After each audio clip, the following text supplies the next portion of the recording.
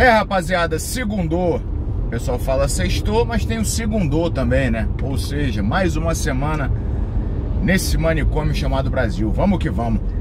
Tô recebendo muita mensagem desde ontem de manhã. Desde ontem de manhã tô recebendo muita mensagem do pessoal, meus queridos cascas grossas da pesada aqui que estão inscritos no nosso canal, pedindo para eu comentar sobre a tatuagem da Anitta, meu irmão. Vocês estão de sacanagem comigo. Vocês gostam de me ver puto, vocês gostam de me ver irritado, que eu sei. Mas tudo bem, tudo bem. Vou, vou falar sobre a tatuagem da Anitta, tá? Atendendo aos pedidos de vocês. Mas vamos fazer um acordo. Eu falo sobre isso e você fica comigo até o final do vídeo, porque após falar sobre a tatuagem da Anitta, eu vou falar sobre algo importantíssimo que está acontecendo neste momento no Brasil, tá? E que impacta diretamente das nossas vidas. Pode ser? Então, antes da gente começar, já aproveita, já confere a sua inscrição, vê se você permanece inscrito, porque muitas, muitas pessoas aqui falam, pô, é, eu estava inscrito no seu canal, quando fui olhar já não estava mais. Então dá uma olhadinha aí se permanece inscrito. Se você não for inscrito aqui no canal ainda, aproveite esse, essa oportunidade para se inscrever. Aqui embaixo está escrito inscre, inscrever-se, algo assim. Clica aí, venha fazer parte desse grande grupo de cascas grossas da pesada que são nossos inscritos aqui. E já aproveita, já dá um like no vídeo aí também, que é importante para o algoritmo, tá? E por fim, quero avisar que amanhã, lá no Desenrolo Podcast, às 20 horas, vou receber o Rafael Lima, do canal Ideias Radicais. Ele que é um, uma, um dos maiores nomes no movimento libertário no Brasil. Tenho certeza que esse bate-papo vai ser muito bacana mesmo, muito informativo também, tá? Então, inscrevam-se no Desenrolo Podcast, link na descrição. Amanhã vocês podem acompanhar esse bate-papo ao vivo. E hoje à noite faremos uma live lá no nosso canal de lives, nosso canal secundário, que o link está aqui na descrição também. Então se inscreve lá também e vamos que vamos. Bom, tatuagem da Anitta, meu irmão. Porra, compadre. Eu. eu ontem, quando comecei a receber uma porrada de mensagem pedindo isso, tá no meu Instagram, que é brigadeiromma, caso você não me siga ainda. Um monte de gente mandando direct lá falando, porra, brigadeiro, tem que falar da tatuagem da Anitta, tatuagem da Anitta. Eu falei, que diabo de tatuagem é, é essa que essa mulher fez, meu irmão? E aí, joguei no Google. Quando joguei no Google, já caiu logo num vídeo. Ela com, com o burrão empinado, numa posição que, inclusive, se fosse é, possível, né, mensurar, eu acho que a Anitta passou mais tempo nessa posição na sua vida do que na posição original de nós, humanídeos bípedes, né? Humanídeos bípedes somos nós, seres humanos, que, é, assim como outros animais, caminhamos sobre duas patas, né? Então, eu acho que a Anitta ficou mais tempo com o popô tipo alto do que sobre duas patas, é, se desse para mensurar aí a sua vida toda. Mas de qualquer forma, lá eu vi o vídeo, ela com o burrão pro alto e um tatuador lá olhando o olho de Tandera dela e tatuando ali um pouquinho em cima ali no orgulhoso e ela gritando e aí tinha um um xisquete também se requebrando todo no chão ali ah é, tirando onda dela porra meu irmão, o que, que eu tenho pra falar sobre a, a mulher que tatua o orgulhoso tenho pra dizer o seguinte eu acredito que ela tenha tatuado ou espero que ela tenha tatuado uma letra é, a letra de uma de suas músicas né, porque assim faz sentido afinal de contas ali onde ela tatuou acaba sendo a fonte de inspiração para suas letras. É dali que sai a inspiração para sua letra. É, agora, eu acho que ela vai precisar ficar retocando direto essa tatuagem. Inclusive, eu vi uma notícia que ela já retocou, né? Natural. A gente sabe que a fricção acaba é, fazendo com que a tatuagem fique falhada. E é necessário que ela fique retocando mesmo. E ela disse que já retocou. Lógico, né? Quer manter bonitinho porque quem arruma a casa tá esperando visita, né, compadre? Então é isso aí, meu irmão. Não dá pra. Tem muito a desenvolver acerca de um, desse tema, né? O que, que eu vou falar de uma mulher que bota o olho de Tandera na cara do tatuador e tatua o, o orgulhoso? Porra, meu irmão. É. Bestialização completa é o que virou a nossa sociedade. E ontem, inclusive, eu tava com isso na cabeça, né? Que eu ia falar sobre isso nesse vídeo de hoje, porque a galera pediu. E ontem eu tive uma daquelas noites que volta em meu tema, noite nostálgica que eu chamo, né? A nostalgia do casca grossa. O que eu faço? Eu abro uma garrafa de um bom vinho, né? Boto as crianças para dormir, levo o vinho pro quarto, deito com a minha esposa, brindamos a nossa vida maravilhosa, a saúde dos nossos filhos, né? a dádiva de estarmos vivos. E aí, meu irmão, antes do show acontecer, antes né, da performance do Marcelão, né, mais conhecido como Britadeira, antes de eu arrepiar, a gente escuta umas músicas aí, música de qualidade, né? Ontem, por exemplo, escutamos Flávio Venturini, Noites com Sol, escutamos Pedro Mariano, né? Pode ser, escutamos Jorge Versilo, escutamos é, vários outros é, artistas de verdade, né? E aí, num determinado momento, veio na minha cabeça a imagem da Anitta. Falei, meu irmão, nós estamos ferrados mesmo, pai. Olha o salto que a gente deu, né? É, em direção ao abismo, né? Pulamos dentro do abismo para você ver a diferença de qualidade musical que tínhamos ali na década de 80, década de 90, para falta total e, e, e, completa de qualidade que a gente tem na música de hoje. É uma, uma vergonha, uma pena, é uma tristeza. Bom, era isso que eu tinha a falar a respeito dessa mulher, né, e da sua tatuagem no orgulhoso.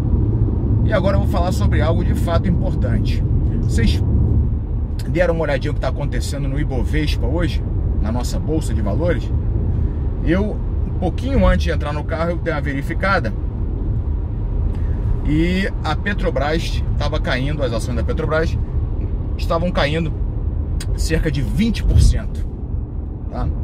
Isso porque ela já teve uma queda acentuada na sexta-feira e espera-se que essa queda continue. Ou seja, a gente está falando aí de uma das principais empresas do Brasil, está perdendo aí um valor de mercado monstruoso, cerca de 100 bilhões de reais. É coisa de maluco, de maluco. E por quê? Isso por conta da decisão do presidente Jair Bolsonaro de mandar embora o presidente que estava e de colocar um, um militar ali à frente da Petrobras.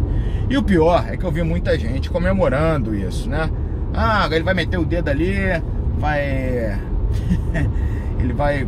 Colocou, colocou o militar ali que é para justamente consertar, eu vi gente falando isso, consertar esse problema aí e diminuir o preço dos combustíveis. Porra, gente, meu Deus do céu, é, é incrível como o, brasileiro não tem a mínima noção das coisas que fala, na maioria das vezes, essa porra de fonte. Depois que inventaram a rede social, todo mundo virou especialista da porra toda sem saber de nada. Temos uma porrada de multi-especialista da porra toda que não sabe de nada. E aí o pessoal dizendo que o fato dele colocar um militar à frente da, da Petrobras vai ser bom. Não, não vai ser bom não. Não vai ser bom não. Não é assim que, que, que, que iremos reduzir é, preço de combustível. E a prova que não, não, não foi bom, de fato não foi bom ele colocar militar, é que a gente está tendo uma retirada monstruosa de capital estrangeiro na Bolsa de Valores. Vejam lá, não é só a Petrobras que derreteu, não. A Petrobras está derretendo. Está derretendo. Cair 20% em um dia é coisa de maluco. É de, de, é, porra, meu irmão, é inimaginável para uma empresa do porto da Petrobras, da Petrobras. Mas vejam as outras, as outras estatais e as outras empresas de forma geral. O Ibovespa hoje está um mar de sangue. Que, que é isso? É o investidor estrangeiro falando: opa, meu irmão, esse país aí não dá para levar a sério. Eu vou tirar meu dinheiro daqui. E qual que é o reflexo disso, para quem não consegue entender? Sai o dinheiro do investidor estrangeiro, o dólar aumenta porque tem menos dólar no Brasil, o dólar vai lá para a escucuia, né? O dólar indo para a escucuia, o valor do, da maioria dos produtos que a gente tem aqui no Brasil, que a gente compra no mercado, etc., vai lá para a escucuia, o brasileiro se arrebenta cada vez mais, né? E a nossa economia vai lá para o lugar onde está a tatuagem da Anitta. É mais ou menos assim que acontece. Mais ou menos assim. Pô, Brigadeiro, qual a solução é, é simples, é muito fácil de entender e é o que foi prometido. É uma série de privatizações. A gente precisa enxugar a máquina pública de uma forma urgente. O que tem de parasita, o que tem de maluco que está chupinhando o dinheiro público é uma coisa de doido. Aí o presidente vai lá e bota um, um militar, um militar que por si só já é estatizante. Porra, as principais estatais que a gente tem hoje, quase a totalidade delas foi, foi é, foram montadas, foram feitas justamente durante o período militar. O militar ele é estatizante por natureza e é justamente que a gente não precisa agora, porque as estatizações incham o setor público, incham o Estado. Aí tem que, alguém tem que bancar isso tudo, sobra para quem bancar? Pra gente, como? Através da elevação de impostos. Aumenta os impostos para bancar essa rapaziada toda que tá mamando na teta. Aí você aumenta os impostos, os empresários já falam, pô, meu, já tá difícil empreender no Brasil. Vai aumentar imposto? Tô fora. Já não vou empreender mais. Aí aumenta o desemprego, o dólar aumenta, desvaloriza o real, desvaloriza o real, diminui esse poder, aí vagabundo imprime mais dinheiro, diminui o poder de compra do brasileiro, inflação aumenta, e aí, compadre, Venezuela, tamo aí. Foi um absurdo essa, essa mudança na Petrobras, tá? Um absurdo. Não só não vai resolver o problema, como vai agravar o problema do combustível, como vai agravar nossa, o nosso problema econômico como um todo, tá? E se você acha que eu, que eu tô falando bobagem, se você acha diferente, então tá bom, meu irmão. Então você vai lá para Wall Street e, e tenta convencer o mundo inteiro do contrário, porque a mensagem que todos os investidores internacionais que estão habituados a investir no planeta inteiro estão passando é justamente isso que eu tô falando. Que foi uma merda de um movimento que vai ferrar cada vez mais com a economia do Brasil. E vai inclusive na contramão do que era a promessa de campanha. A promessa de campanha, inclusive a entrada do Paulo Guedes no time, era justamente né, é, abraçar uma, uma visão de economia liberal que passa necessariamente por um projeto de privatização, de privatizações na real, de, de grandes empresas estatais, para enxugar a máquina pública.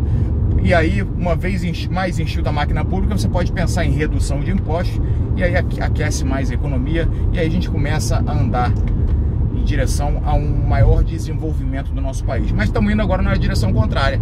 Estamos caminhando para sermos uma Venezuela. Maravilha, né? E neguinho preocupado com a tatuagem da Anitta.